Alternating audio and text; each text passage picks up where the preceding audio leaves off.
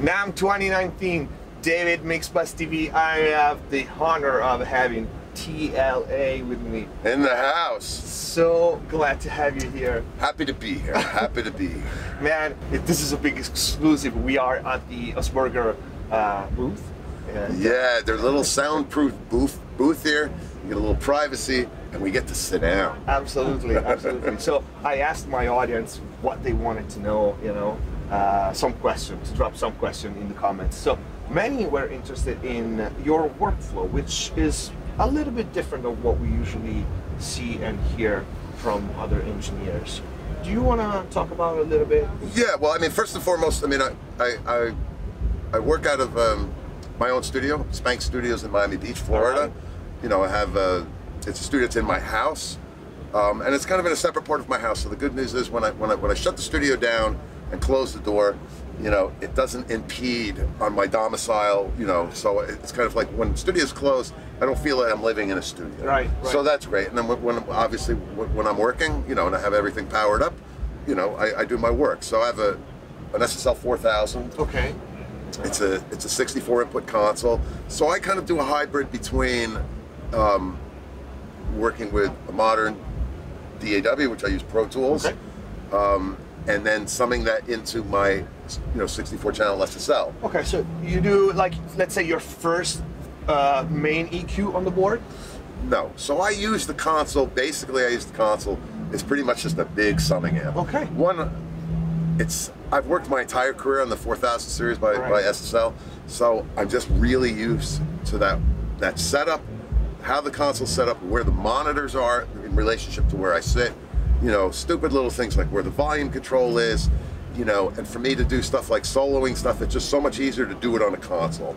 So I treat Pro Tools as if it's a, a tape tape machine on Right. steroids. Right. So my mixes are all plug-in based, except for one thing, except it's summed through the console. That is a uh, important message to give people. Yeah, so Like- basically, I mean, look, what I do, you can do. You can totally do it. Um, because I get a lot of the, you know, oh, well, you have an SSL and blah, blah, blah. And I says, right, but this is how I use my SSL. So it's really, the audio comes in, again, just think of it, think of it being a 64 channel tape machine. Right. You know what I mean? Right. So pretty much if I can't and to be quite honest, I really only use about 44 channels of the console. So if I can't fit my mix on 44 channels of the console, then I'm doing something Yeah, wrong. yeah, have- You know what I mean? But that's kind of how I do it. So like pretty much 1 to 44 are my working channels. Okay. And, and then again, I would use the console, let's say if I'm nearing the end of my mix, and I just want to make a slight adjustment, you know, I can do it globally on that channel. But anytime I'm really using any console equalization, it's usually on the drums. Mm-hmm. And again, it's usually not that much. It's usually just some finishing EQ. And then again, it sums through the SSL. And then I would be using whatever my compressor of choice is for my stereo bus compressor, Okay. whether it be the SSL quad compressor that's Right. built in the console, or it could be the Focusrite Red 3, it could be the Tube, Tube Tech, you know, stereo uh, limiter. Again, there, there's a multitude of stereo compressors, you know, and it all depends on the song, how I'm feeling that day, you know, and maybe maybe I want to try something different. But yeah, the bulk of my work is all plug-in based using Pro Tools. But again, I'm coming out. So again, you know, my bass drum comes out on one channel, my snare drum comes out on another channel, my tom toms come out on two channels, you know, and on and on and on. Absolutely. So again, more and more we we are shifting towards that. I would say now pretty much we all are like the bulk of our mixes is done on plugins. You know, Yeah. For like gigantic name like you. Yeah, so I mean, f- again, in my mixes, you know, with maybe 20 minutes of work, I can take my mix and sum it in the box. Right. You know what I mean? If I want to hear what it sounds like, it's literally just a matter of gaining everything down. Because remember, now I'm gaining, I'm I'm my my uh, my working levels for audio are to what the sweet spot is on the SSL. Exactly. So again, my bass drum is going to be coming in at, at a maximum level.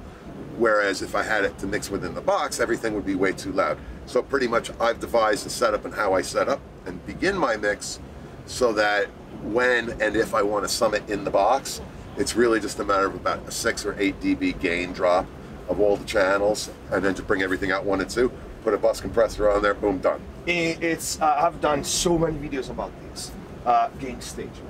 How first of all, gain staging is different from in the box to where you use hardware gear or i- i- either hybrid or fully analog. So that's a, another important message for people. You can mix in the box. Sure. You just you have to change your technique and and how you gain stage things because Yeah. it's not you oh, know. Oh no, absolutely. I mean, look, you know, I've found for me in the 15 or 15 years I've been using Pro Tools, it might even be longer than that. You know, I found a method that works for me. Right. You know, for me, all my Pro Tool faders are zero because zero dB is really easy to remember. Mm-hmm. So what I do is I would make gain adjustments on the plugins themselves. Okay. So again, when I get sessions from people, you know, I see the guitars would be at minus 23.6, you know, and as you're working, if you bump something or change a level, how are you going to remember? God, was it minus 23.6 or minus 26.3? Whereas zero is zero. Yeah. And if I need to make a gain adjustment, I just open up the, the you know, pretty much whatever the last plugin in the window or whatever plugin is doing the gain control. Right. You know, and make the adjustment to that. So that kind of method works for me. And then if I need to do, or when I do automation in Pro Tools, using Pro Tools, I have 12 dB up, Uh-huh. you know, and a million dB down. Right. You know, so generally I'm not bringing anything up louder than 12 dB. That's uh that's that's that's I'm glad to hear that because I It's work just, exactly it the just, same. it just makes it for me. It makes it dummy proof. Yeah. Um, because I'm not that bright. um, you know, and the other thing with, within Pro Tools, you know, for me, when I glance at my session, one of one of the main things in Pro Tools for me is session management. Is being able to manage your session. It's difficult for you to get a great mix if you can't manage a session. If you're scrolling through pages and pages of stuff, and it's written in hieroglyphics, mm-hmm. it needs to be written in, in, a- in a way, at least for me, that's easy to see, that you can glance at, you know, and again, managing the session. So I don't I don't need to know that it's an SG number two point one. I need to know that it's the verse guitar. Mm-hmm. You know what I mean? Same. It's like real simple. Um, and then again, I let the plugin do the work, and then you're able to scroll through the sessions. And then I also turn off automation on all the channels when I begin my mix. And any channel that I'm going to have automation on, I obviously turn the automation on. Again, I can glance through my session and immediately know, oh, I see that this channel is in read, there must be automation written. Right. Whether it's a level move, whether it's a plug-in automation, whatever it is, I know that there's automation there. If the automation is turned off on that channel, I know that it's just a static level. I'm gonna steal I'm gonna steal this. Right, again, for me, it, It's it's, brilliant, It's yeah. dummy proof. You know, now look, in Pro Tools Ultimate, they at least came up with you can hi- you can highlight the different plug-in automations and show you, you know, just by uh, it's it's I believe that it's in yellow or whatever it is, it's highlighted. It shows you if there's automate What written. it is. But before that, there was no way of checking except looking at that channel and seeing if there was automation written. So again, I've always kept it that if the automation is off, then I know there's no automation. If the automation is on, then I'm either doing some, I'm doing something with the That is automation. really clever. Session session management is, is, is very important. You can't get a great mix if you can't manage the session. Absolutely, and today we got mixes like mixes to do with like 200 tracks, so it's like Yeah. ah, Yeah. well, today we get what I call and, and what my brother Chris calls documents. They're, they're, it's not audio; it's a fucking document. Excuse me, but it's a document that has no vibe, no soul, and the plugin or the you know the plugin is doing all the work. So whether it's a mm-hmm. distortion plugin or an equalizer plugin or a delay plugin, it's doing all the work. So yeah, when you when you have stuff like that, you know, I always tell you know engineers, there's, there's no reason you can't commit this. You know what I mean? Because again, chances are you're never going to change the way it is. So why not have it live that way for the rest of its life? You know, one of the things that, that we're going to be dealing with in the next decade is when they come out with new versions of these DAWs, they're not going to be compatible with what you have now. And you're going to be screwed when you go to try and open one of your old sessions, especially if, if you're using a DI guitar and all the effects are based on on plugins. If you haven't recorded that stuff, you know, Absolutely, you know. So you, they, you know, again, they have the you have the ability to commit it. You have the ability to keep the original channels.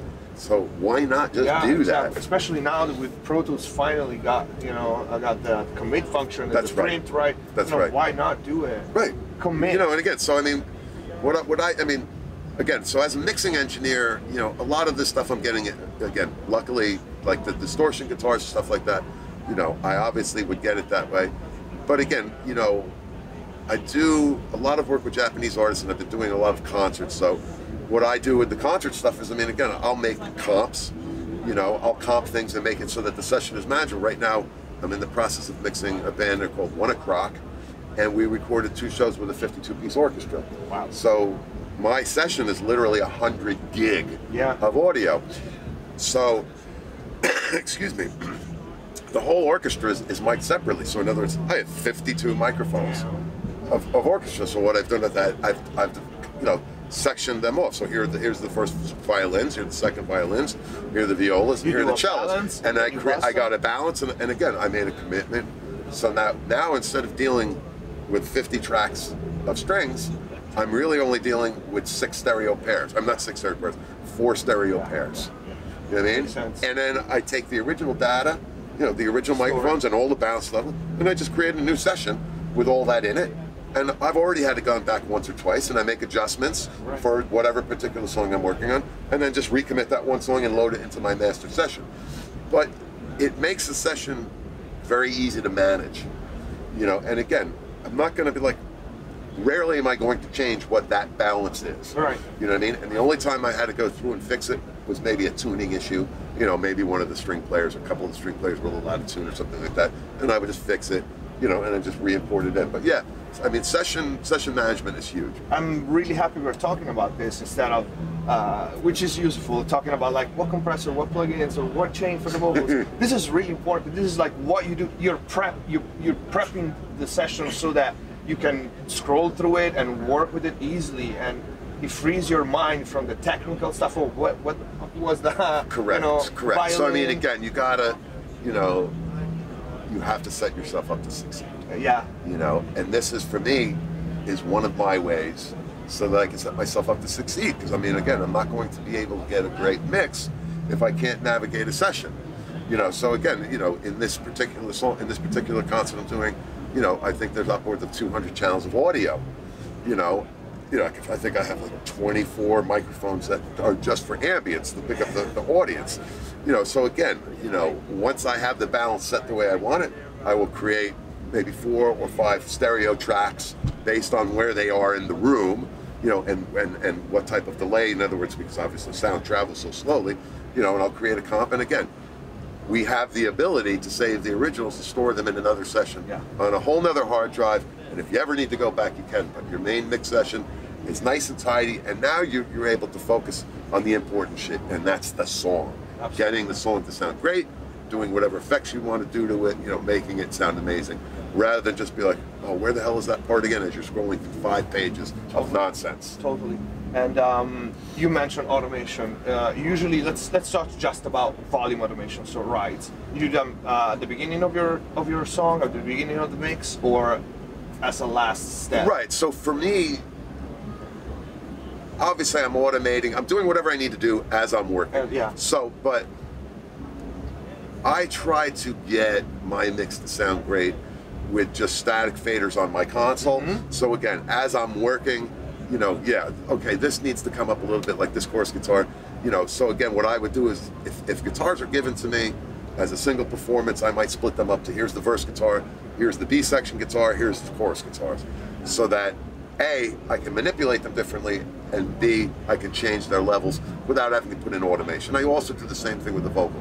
But most of the time they come, you know, in most sessions I get, they come separated. Yeah, separate. So again, so again, I try to get it as close to the balance as close as I can, the way that I want it, you know, by letting the plugin do the work. And then again, as I'm working and getting closer to the finished version and seeing the bigger picture, then if I need to do automation, either within Pro Tools or on my SSL, Okay. I'll do that. Uh, something that uh, happens to me while while I, while I mix. Uh, when I do automation, I'm, I'm like with you, like whatever needs, whatever whatever I need to do at the moment. So like it never ever happened to you that like something catches your attention and you need to fix it. Like some some you know we have our workflow. I don't know. I start with the drum, for example, then I go to the bass. Right, so- right. so- the same, same as, but same then as sometimes a, a, a mix uh, land on my desk and like that guitar or that vocal catches my attention, whether because I get an idea of what I want to do, Right. or because it needs fixing. So I do that first. That Right. happens to you. Yeah, well, I mean, normally, like, you basically you fix it, you do things as you hear them. Yeah. Because what happens is if you don't do it immediately the first time you hear it, or the first time you hear an idea in your head, you forget about it. It's the first impression that is important. Yeah, it's right? you always got to keep, keep your you know. Yeah, yeah. You know. Totally. You know, you got to go with your first impression. That's And- part of mixing. It's like go with your gut, go with what your gut is telling Absolutely. you. And again, if you do it when it's in your head, you won't forget it, and you'll, you know, again, you'll at least be able to walk down that road of whether it's a worthwhile thing to do. Totally.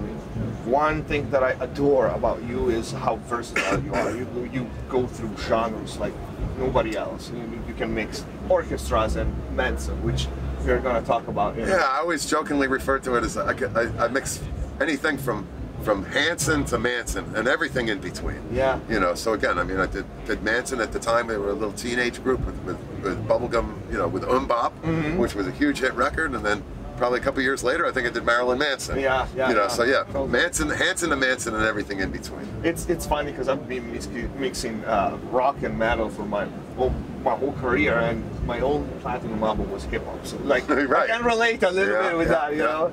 But uh, two questions. One question before going to to the Manson album. Um, you mentioned a lot of tracks of ambient and uh, orchestra, Mike. Do you EQ individually those mics before comping, if needed, or you just balance them and then you EQ the steps? No, each. So in the in the case of this orchestra show that I'm doing with ONE OK ROCK, um, yes, each individual channel has its own individual EQ. So how, how I how how I treat it is I go, okay, here's the violin section. The violin section I believe is made up of ten violin players. Right. So I start with first chair. First chair is the main guy. Mm-hmm. Okay. So I start with first chair. I listen to what he's doing. I rough in whatever equalization I need for that, and then I pretty much just copy that over to the next channel Okay. make any adjustments to it and it's more about getting the levels different because remember we're doing i did the recording and we're trying to get a good recording with a, a lot of microphones in a quick amount of time. So some you know the first chair might not necessarily have been the loudest microphone when i recorded it. All that was concerned to me as i'm recording it is that everything's recording at a good level and we're not clipping. So when i'm mixing it first chair first you know, then I go to the next mic, I just copy the plug into the next microphone. If there's any equalization that needs to be different, I will do that, and I will also make level adjustments. All right. So my goal is to have each individual microphone the same level as the first player. Okay. Okay? And then again, just repeat.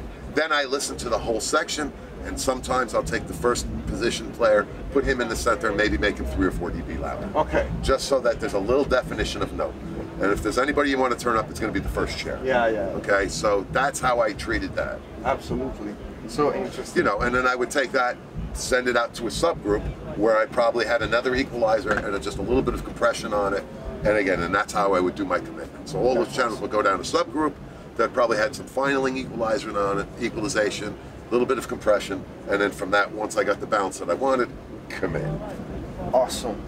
Manson, you mixed mechanical animal. I did mix mechanical animal. which is one one of my, my biggest inspirations sound wise aside from the fact that I, that I love that era of Manson uh, musically but uh, oh my god so many questions about that I know it was some time ago uh, two things bass and vocals the Okay. bass on that record is insane and Yeah. I know Twiggy is a great musician and is, is a musician that he really cares about his sound like coming out from the amp I would like to know how much you changed that sound from, from where it came to you, if you remember what you used on it. Yes, okay, so Mechanical Animals. Mechanical Animals produced by Michael Beinhorn. Yeah. Michael Beinhorn has a, a- an interesting way of recording. So, if memory serves me correctly, that was recorded on 2 inch 16 track. Wow. If, if memory serves me correctly, the, the, the rhythm section. So, the drums, the bass, and probably the tracking guitars Yeah.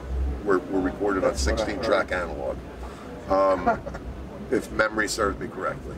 So that I believe that came in, and we transferred that to, to at that time when I was mixing, I had a 3348 HR. So I took his analog tapes and transferred to the to the Sony 3348. So one of the tapes would have been a 16 track, and I'm, I'm certain the other tape would have been a 24 track. Um, but yeah, I mean, if memory serves me correctly, that they were you know they were kind of thick analog recordings that that were good to begin with. Yeah. You know, and again, my job was just to make it you know a little bit better um, over the past year, I've actually been been um, I've been uh, taking a look at some of those old multi tracks because I have those multi tracks. Oh my god. And, and uh, one of the songs I did a modern mix on was "I Don't Like the Drugs, but the Drugs Like Me." Yes. You know, where I actually did a plug-in version, you know, like a plug-in mix of it. Uh, yeah. Let me hear it. Yeah. Oh, Well, of course, I don't have it with me, but I have been. U- I did. I do use it for for mixing seminars, and I believe that I did it um, for the AES show. I used it. Oh. This year at NAMM, I'm, I'm using Sum 41 uh, Fat Lip, but um, but I did a modern mix of, of I don't like the drugs and the drugs like me, and it's again it's a completely plug-in based mix, and it sounds awesome. You know, and it actually sounds a little bit better than than you know. I was I was shocked because I mean, remember now. The EQ curve that we're using nowadays in 2019 and 2018 different. is different than what we used in 19, you know, 96 or 97, I believe, when that record was made. Totally, and yeah, even gear changes because the style changes. Change, you know, uh, like in metal nowadays we have rock and metal. We have a lot more bottom end than we used. That's right. you That's know? right. So even the gear that we might, you know, used in the past might not fit today, and we switch to something else. That's right. So I mean, again, I, I do this because these are songs that guys like you, you know, and, and, and your audience grew up listening to, Oh, yeah. and I want them to see that it's really not the gear. Like in other words, those were analog mixes that I did back in the day, but it's not the gear; it's your ear. Yeah. So again, I can I can I can do any mix in Pro Tools. You give me, you know, let me choose three EQ plugins, three compressors, and three reverbs, and I guarantee you I can deliver you the Oh, same I'm mix sure. that I can deliver. You know, what happens is all these guys get hung up on the hundreds of plugins that they have Yeah. that they forget that they're all pretty similar. You know, I always tell my students, you know, master, Yep. you know, pick a couple of plugins, pull everything out of your system, and just use a couple of plugins and master them. Yeah. You know what I mean? So it's not the gear, it's your ear. Yeah. So look, I have an SSL because that's what I'm used to working on my entire career. It's more about where I sit, where the monitors are, where the volume control is. But, you know, when I was mixing analog, we only had 20 colors. You know, we had an LA3, we had an LA2, we had 1176s, Yeah. and a couple of other things if you consider all the, the equipment to be colors. Now you have hundreds and thousands of colors with all these different plugins. So it can be overwhelming, and a lot of people have a hard time making a decision. So pick the ones that, that you like, that you know you can manipulate quickly, and the rest, you know, I have to have them because I, I need to open up sessions from other people. Of course. So I have to have every freaking plugin known to man, and I have every plugin known to man. You know, but again, in my mixes, you always see the same handful of plugins. Yeah. Master them. Get, get Right, because you know, again, take the time I want to be able to get the sound quickly. You don't want to labor over it. The only time you want to labor over something is if you're experimenting. Exactly. And trying to come up with something, you know, cool. I, I, I say that all the time, you know, and don't experiment you know, unless you have time, you don't have a deadline. Ex- experiment in your free time. Start Right. know when you're mixing. When you're mixing, right. you want to be well, you, you don't experiment when the artist is in the room. exactly. You know, unless the artist is unless the artist is encouraging you Yeah, to do that. yeah, yeah. You know, but generally when the orange when the, when the artist is in the room, you know, you want to get a you want to have the chops to be able to get a great sound, so that the artist can get a great performance. Because great sounds inspire great performances. Absolutely. Another question on Mechanical Animals. There was that uh, it became kind of his signature sound. Right. That those uh, double vocals, which were very unique sounding, Yes. especially in Mechanical Animal. They started it with with uh, Antichrist Superstar before, but it was really obvious on, on the album that Yeah. we mixed. Yeah. Uh, do you remember if there were more uh, numerous, like multiple performances, or you did it on in in, in the back? Um, was your No, You know- well, I mean, on on some of the songs have multiple performances, but Mm-hmm. but but Manson's thing, again, it's real simple. It's kind of a throwback to Alice Cooper. So it's the two Eventide H910 harmonizer. Oh. So where you have you know one the left channel at 0.99 and the right channel at 1.01. classic. Okay, and that's pretty That's much it? Manson's thing. Oh my god. Yeah, that's his sound. Was is the is the Eventide you know harmonizer. So and again, you just have one pan right, right, one pan left. You put that on his voice, and it's boom. It's pretty much instant. Yeah. So- and you know, so that was that's the main effect on Mechanical Animals, That's awesome. um, and on his sound. That's his sound. That's what he likes. And, and again, back there we were using you know hardware pieces. That's awesome. But it, it's as simple. I mean, again, as simple as that. That's good. and again, it's kind of a throwback to you know again the old Alice Cooper records. That was kind of what was yeah. going on at that time. yeah, which which was one of his influence, as he said. Yeah, yeah. No, and the cool thing about Mechanical Animals albums, so I mean, we would mix a song. I mean, so before I start the mix, Manson would come in. You know, we would discuss briefly what he was going for, and then he'd play me maybe two or three songs that are in a similar style. Okay. You know, and he goes, you know, he'd be like, I don't want you to copy this. I want you to be inspired by it. Yeah, of course. You know what I mean? So listen to this and then mix my song. That's You know, also and, and that's what that, that's for the whole album. That's what, what he did, and it was very, he's very very smart guy. Yeah, you know, knew is. what he wanted. Very talented, very you know able to verbalize Mm-hmm. what he's looking for. And again, one of the only other artists, you know, I've only come across one other artist that did a similar thing, and that was when I mixed an album for Annie Lennox okay. who instead of playing me music out, she showed me a, a, a, a, series of visual images. Hmm. She would show me visual images and then go, I'd like it to sound like this. Yeah. Okay? And which I thought was, was very cool. But It's very cool. I'm producing an hip hop artist right now, and the way he he freestyles, he freestyled all all the album. So the way he he, he goes with me is like he plays me the beat, and he, and he asks me what you see. When he plays me, throw me random words. Right, me, right, and right, He right. gets inspired, go in, goes in the booth and start you know freestyling the Wow. whole album That's like pretty that. cool. It's super cool. I want you to hear this guy. But uh, one last technical question. You uh, you you said uh, you use your SSL as a as a summing mixer board. Yes. Pretty much. Uh, do you still rely on do you still rely on uh, pushing it hard to the red?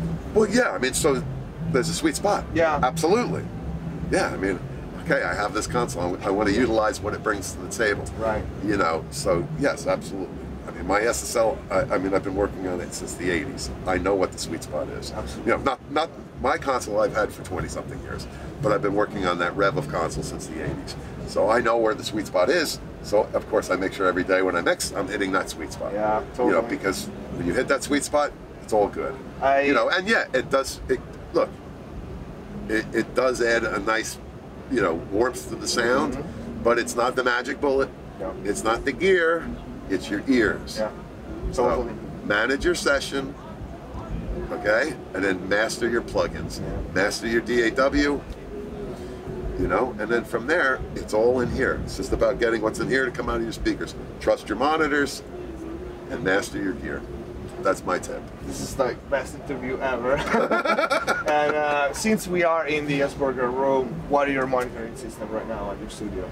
I'd love to have these. I, I mixed on Augspurgers for 15 yeah, years. Yeah, yeah, absolutely. You know, at South Beach Studios, we had Augspurgers. So obviously, I am a big fan. Absolutely. You know, and-. Um, I've been working on trying to get a pair. Yeah. How Uh, about these these purple ones? They look. They're awesome. they, they look great, but they sound even better. Yeah, absolutely. Um, you know, but but like like your, your viewers out there. I mean, again, I have modest monitors. You know, what I mean, Yeah. You know, my brother makes monitors. You know, or has yeah. his name on monitors. So I'm, I'm curious to hear the the CLA. Yeah, so my brother's monitors, Troy boy, Troy Germano of the Hit Factory now runs Oh, okay. Germano Studios in uh, in uh, New York City, but, but but Troy and I go go way back. yeah, we are at NAMM 2019, Yeah, so guys. So like, I'm looking out the door and I see friends. Yeah, all friends. But yeah, but but you know, again, I use you know I use the CLA 10s, which are great monitors, um, and and the Barefoot MM27s, which Mm-hmm. again are, are great monitors, and I also use IK Multimedia iLoud Yeah, micro monitors. yeah, yeah, absolutely. You know the absolutely. micro mains, which are great monitors.